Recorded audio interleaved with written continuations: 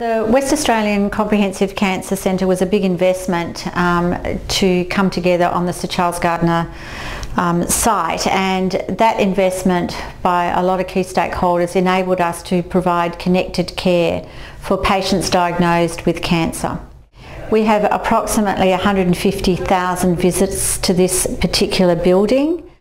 The Comprehensive Cancer Centre offers treatment across three particular areas. The area of um, medical oncology um, with our day medical oncology unit, haematology with our day haematology unit and radiotherapy where patients come for radiotherapy treatment. Being at the New Cancer Centre it's a lot brighter. You can actually um, see the difference. The old cancer centre was just like being in a normal ward where there are a lot of people in a small confined place. The new cancer centre, the minute you walk in the door you've got the open space, the friendly people, room to move, bright and sunny and you can actually see outside and see the sunshine. So it makes it a lovely place to be.